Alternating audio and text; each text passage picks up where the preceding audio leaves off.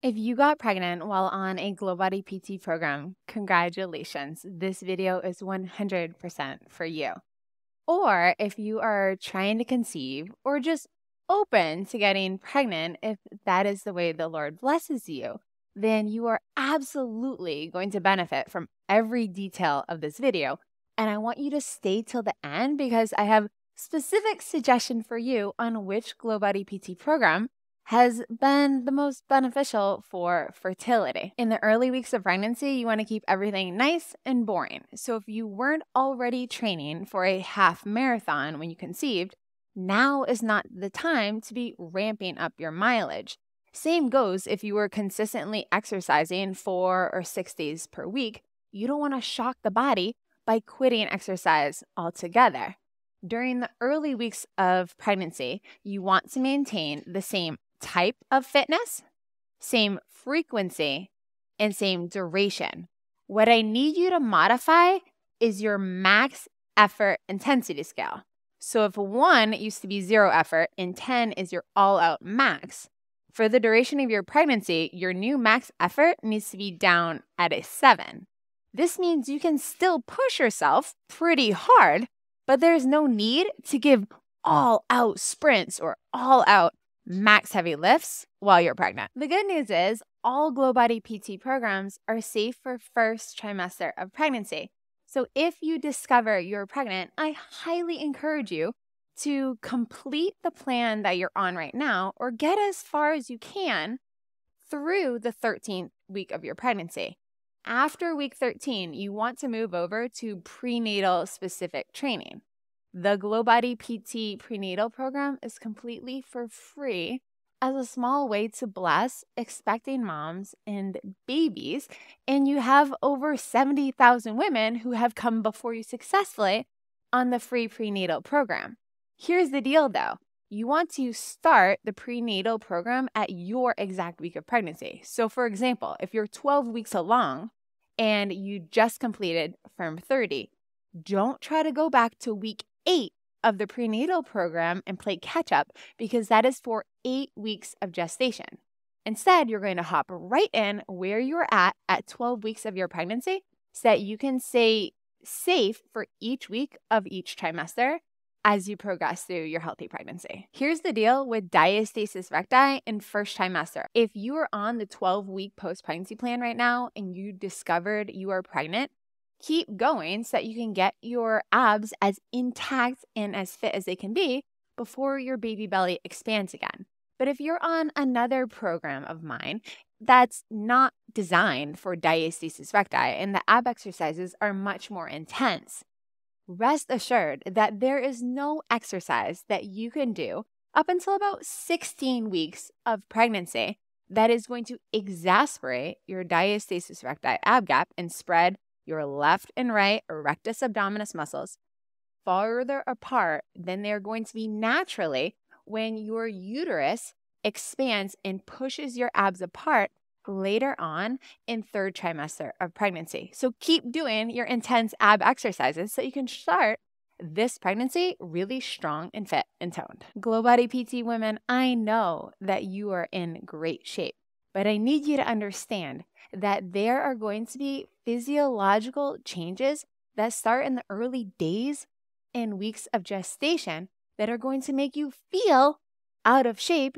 even though realistically you're still in great condition. Almost as soon as you conceive, your body starts to produce a little bit more blood. And over the course of your pregnancy, you're going to be producing approximately 45% more blood than your non pregnant self did.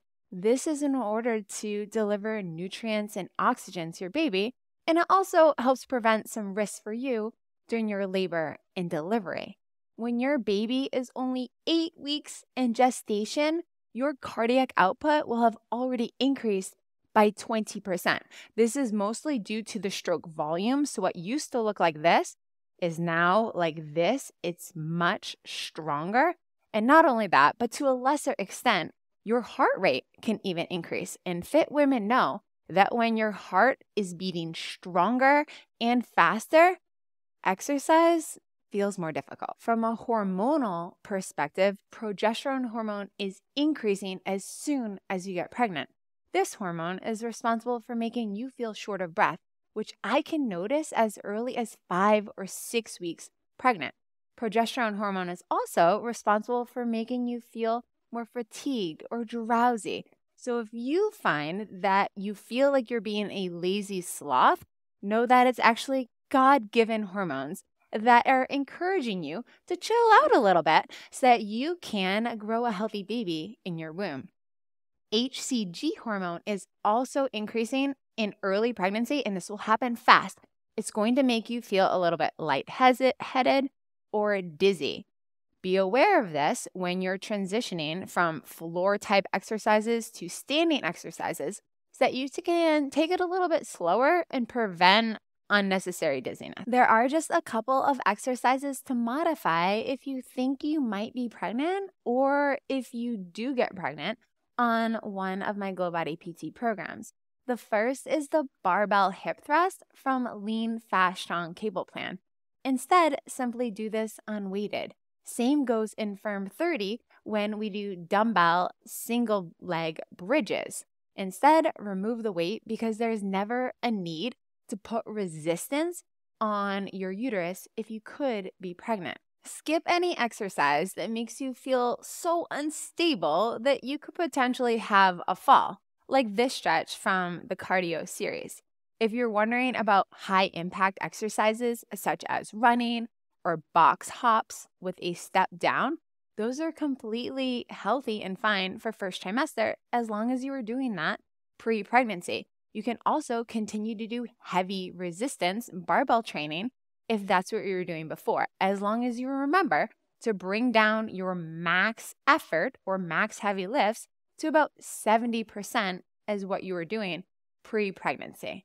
One technique that you'll never hear me recommend on Glow Body PT programs, but sometimes I'm guilty of doing myself, so I want to share with you in case you aren't aware of it, is the Valsalva maneuver.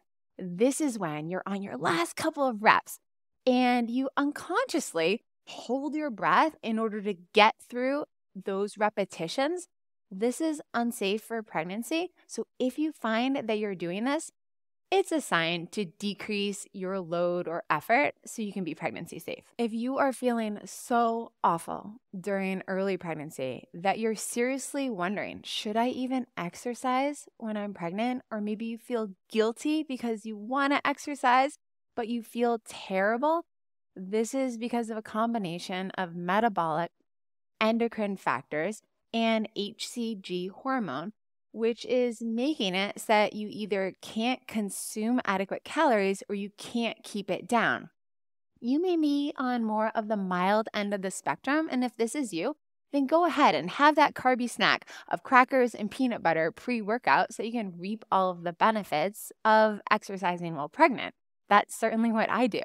However, if you are more on the severe end of the spectrum and you're at the point where you're not even sure you can consume adequate calories to not lose weight when you're pregnant, and you have the potential that you might be in a caloric deficit, this is not safe for pregnancy. So I don't want you to add the stressor of exercise, which would increase metabolic and caloric burn even further, putting you in a deeper caloric deficit because you need all of the calories your body can hold onto in first trimester in order to grow a healthy baby. Exercise typically reduces stress hormones, adrenaline and cortisol, and it increases feel good endorphins.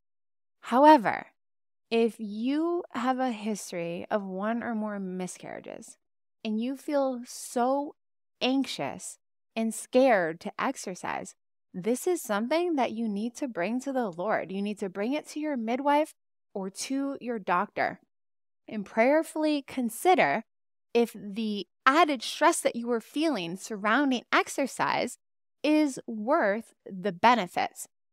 At this time, there is no correlation that exercises increases your chances of miscarriage. Around 80% of miscarriages are linked to chromosomal abnormalities completely out of your control. Other factors include advanced maternal age, obesity, and alcohol consumption. But if you still feel just this about exercising and you don't want to do it, know that it is okay to abstain from exercise in this season if you have come to the conclusion that it is just not healthy for your unique circumstance in your pregnancy. Whether the stress is perceived or actual, it's okay to take a step back and not exercise for this season. Now, for those of you who are trying to conceive or hope to grow your family in the next few months, get on the 10 minute plan. Me and my team joke that everybody gets knocked up on the 10 minute plan, and I'm convinced that it helps establish a healthy hormonal environment because you're training two hours per week on an ultra flexible schedule that keeps you on track so you can have strong arms, legs, glutes, toned abs, increased energy, healthy libido, getting good sleep at nighttime, but it's also not overly stressful on your body. And when you pair this with healthy, fast, easy recipes that are about 30 minutes or less, you are making healthy eating easy. So you arrange an ideal hormonal environment for conception the volume of messages that I have gotten from excited moms who have become pregnant on the 10 minute plan is quite overwhelming. And I am prayerfully hopeful that if you want to grow your family, that the Lord will bless your desire too. If you haven't already, go to glowbodypt.com and download my free prenatal program so you will have it when you need it. If you enjoyed this video, please give it a thumbs up, press subscribe to join me and let me know in the comments was this video helpful? Was there anything that I forgot to add? Experienced moms, I would love and value and appreciate your feedback for other moms so they can hear encouragement from you. I love you, ladies, and congratulations if you are pregnant. Bye.